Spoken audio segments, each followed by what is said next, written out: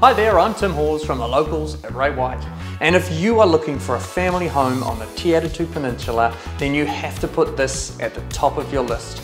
Because here at 41 Hereford Street, you will be living the dream. This home is beautifully presented.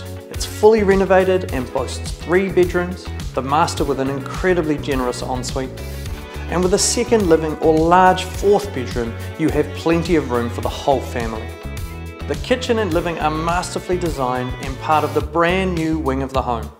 Built on a concrete slab with underfloor heating and it's light and bright with windows on every wall.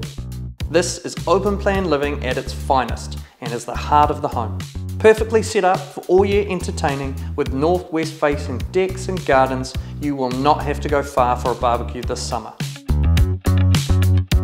Superbly conveniently located, you're only 800 metres from the Peninsula Village, but you're tucked right down the end of the cul-de-sac, feeling right out of the way with so much privacy.